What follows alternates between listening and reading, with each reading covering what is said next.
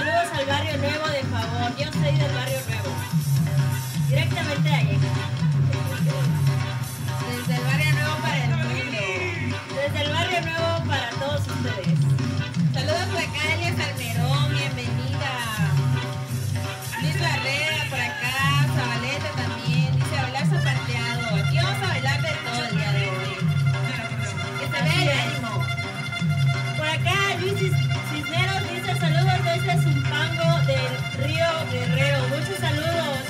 encuentres muy bien.